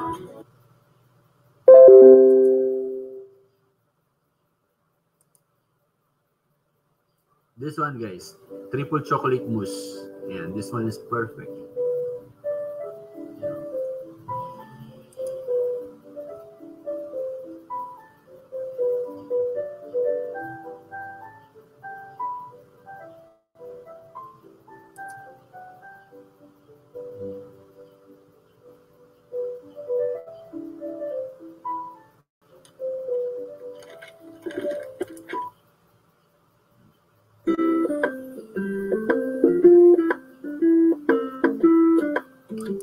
This one is uh, banana. Banana pudding recipe. Jim, I don't know. I, I think I think this might be better than Magnolia Bakeries. I think so. Grahams, pwede rin kayong gumamit ng mga Grahams. Look at this one, guys. Then, this one. Actually, you can make anything, guys. Basta meron kang cream. Hey, and welcome back to Chris Kitchen. ito yung mga Today I'm going to share with you my recipe for these chocolate syrup shots and tribal shots. I made them for the first time on Eid and they were a success, but I didn't record it and so, so I made another batch to share this recipe with you and trust me, they taste amazing. So keep watching for the recipe. Ganda, no? So, ito panoorin natin yung isa.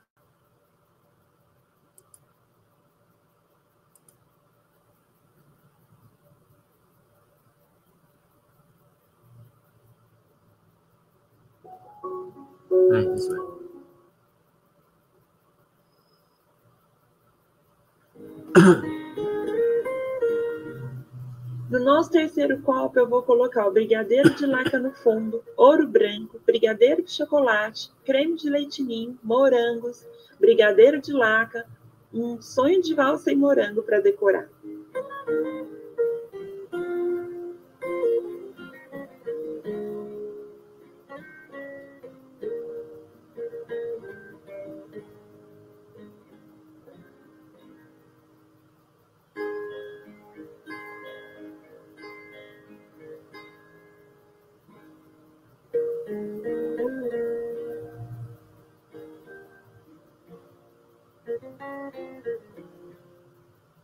Agora, gente, vai montando enquanto você tiver recheio. O meu rendeu 10 lindos copos maravilhosos.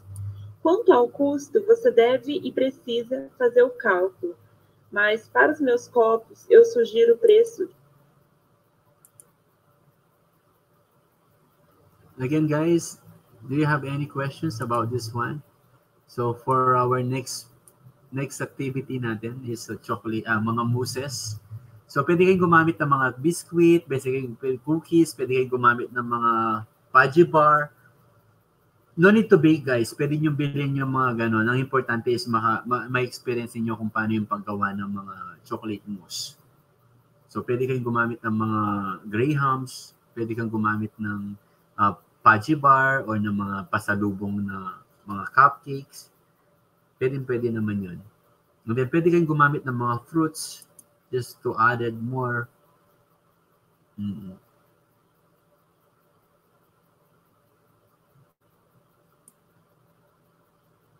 Okay, guys, for our uh, last attendance, kindly please uh, present. Please, uh, please press present for our last attendance.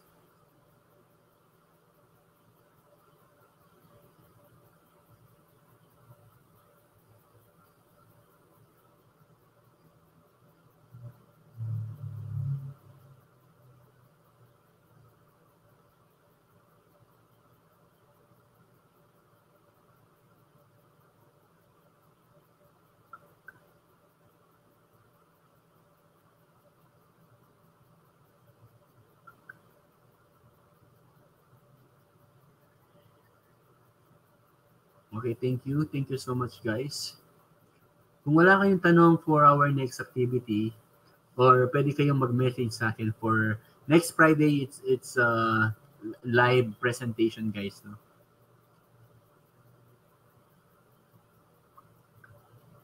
Live presentations on Monday, guys. Ay, on Friday, sorry.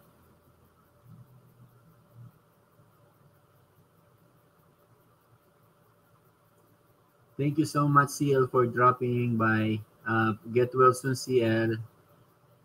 Just hi sa mga YouTube family. Honestly speaking, wala na talaga kaming time for YouTube.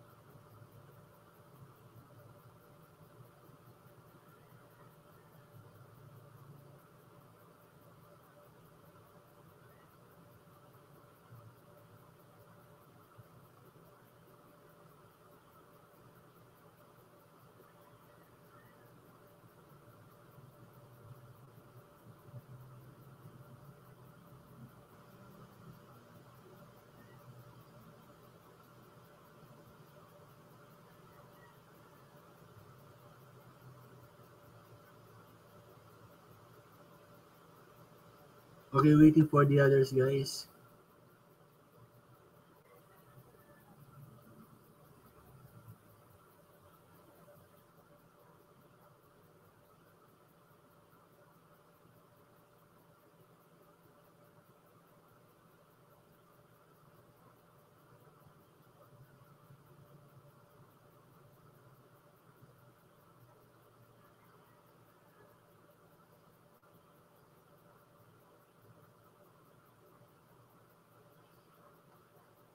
Okay guys, I uh, dismiss you early. Maraming maraming salamat sa inyo guys. Ki- Kindly please keep safe. Always pray. So kung wala na kayong concern for our lecture today and for our activity on Friday, you are uh, free to take a rest for your next subject. Happy weekends. And then uh, please always keep pray for our safety and para sa safety din ng family ninyo. Huwag lalabas kung hindi kailangan because your safety is the most important thing. And then, please, kung may mga bibilin kayo, kindly please ask favor to your parents or sa mga kapatid ninyo lumalabas. No need to go outside. Pero, kung meron kayong mga available ingredients sa bahay, no need to buy. All we need to do is to present just very basic chocolate mousse. I mean, uh, just a very basic mousse kung wala kayong mga shot glass, you, can, you may use kung anong klaseng baso na meron kayo sa bahay. But the importance is we are in the progress. Alright? So always keep praying guys and safe. Maraming maraming salamat. Keep praying guys na sana matapos na to. And then makabalik na kayo sa school so that you can process the normal school activity na ginagawa ng mga estudyante. Maraming maraming salamat kid. God bless, guys. See you on Friday for your activity. Now, if you have some concern, please let me know, guys. All right. Thank you so much, guys. Keep safe, everyone. Keep praying. And then, uh, today is Friday, so you have still have time to take a rest para hindi masyadong ma-overload yung mga utak ninyo. Don't don't make yourself stressful and uh, haggard. Just uh, give time to relax para sa sarili ninyo. Especially now, ang hirap-hirap. Lahat tayo is nag adjust sa pandemic na to. Especially sa school. Hindi lang kayo yung na-overload. Even teachers, too much working, uh, work, uh, paperwork, guys. So it's time to relax for the weekends and always keep praying. Yun lang ang isang bagay na ano natin guys. And then relax lang was masyadong magpa-stress. Alright? Again, uh, CL, thank you so much for dropping by. And then keep safe CL and then get well soon. And say hi to our family, a YouTube family member. Maraming maraming salamat. Again guys, uh, I will end the YouTube live. I will just take my lunch now. Thank you so much guys. See you on Friday. Again, if you have some questions, please, please let me know, okay? Our activity for next uh, Friday, mousses. Any form of mousses, just only one piece. Kahit napakalit na portion lang, just let me know, okay? And then kung uh, gagawa kayo with your classmate, please ask favor to your parents and uh, magpaalam kayo. And then don't forget face shield and face mask and social distancing. Again, God bless everyone. Make yourself free from stress. All right? God bless.